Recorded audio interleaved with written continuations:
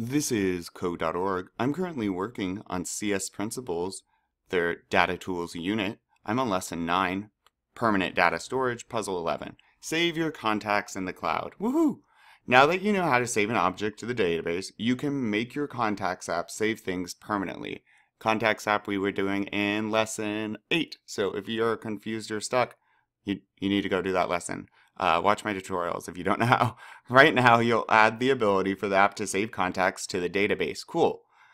In the next lesson, you'll learn how to pull data from the database back into your app. Perfect. So we'll save it up to the cloud. We can restart the app and still have it all there. The contacts app you created in the previous lesson is provided.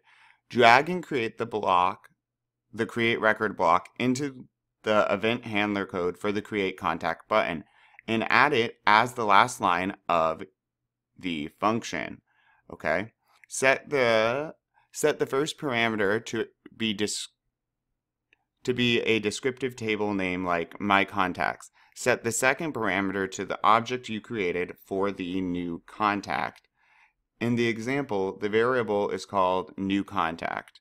Run the app and add a new contact. In the data viewer, confirm a new table was created and that it contains the contact you created. All right, so let's go over to code. And then this is my app that I made, right? So if you're not seeing this, lesson 8, lesson 8. All right, and then we're adding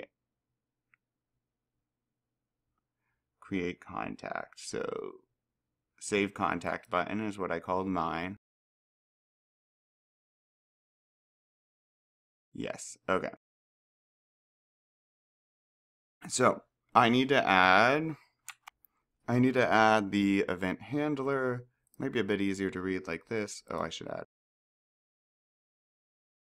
All right, event handler. Into this one. Yep.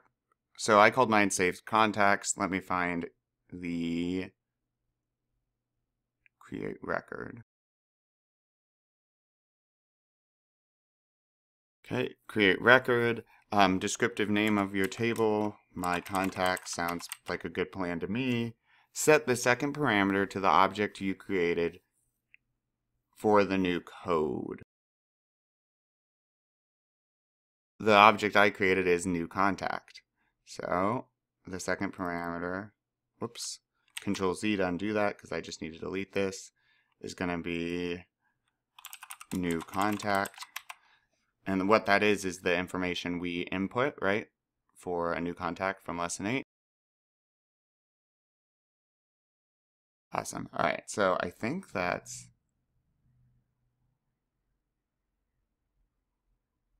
Is that all I need? First parameter to be descriptive, my contacts. Set the second parameter to create an object you... Yep. So we're not putting anything inside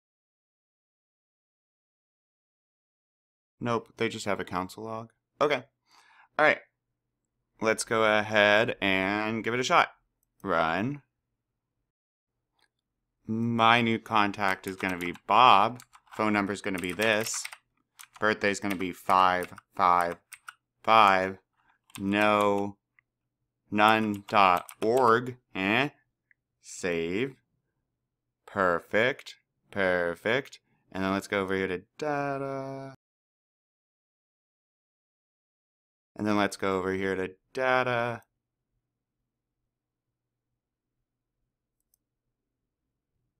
Perfect. Bob. Great. So now we can save it. Retrieval is going to be our next step. All right, I think that's... Yep, let's keep going.